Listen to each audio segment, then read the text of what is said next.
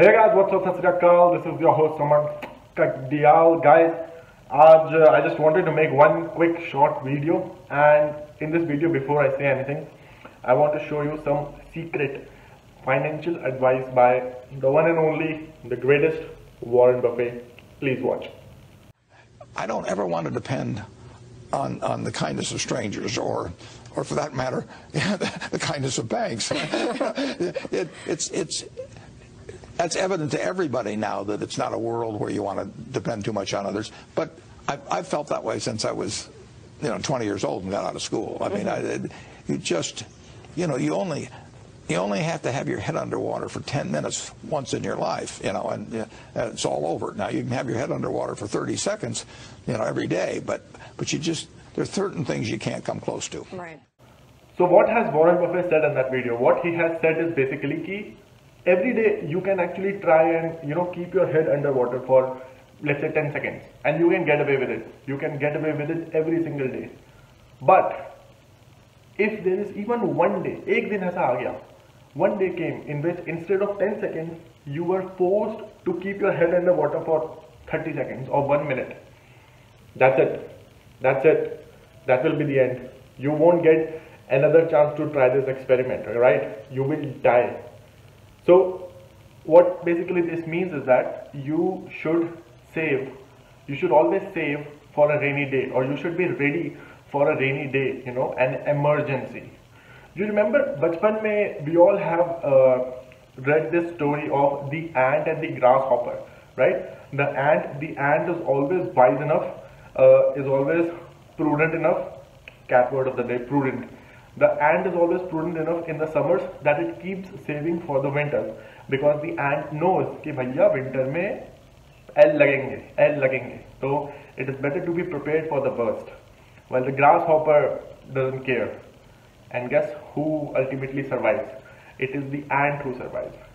Now ask yourself, are you in your personal finance life, are you living like an ant or are you living like a grasshopper? And this is what Warren Buffett had said in that video. It was not some, you know, secret advice ki bhaiya pata hi nahi hai kisi ko. If you think about it, it's common sense, right? It's common sense. You listen to it and you say, yeah, of course. Like, of course you should be ready for a rainy day.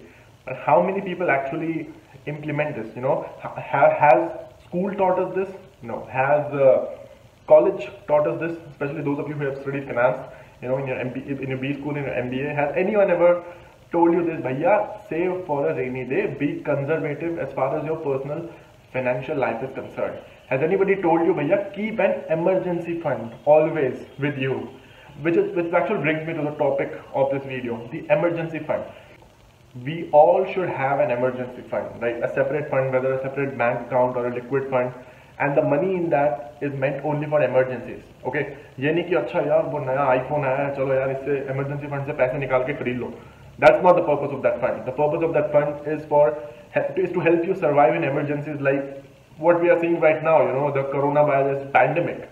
Or you remember 10 years back it happened, or 12 years back it happened in 2008, 2009, the Great Recession. You know, people are, people might lose their jobs. How will you? How will they survive without an income source? So that is where an emergency fund uh, comes to your rescue.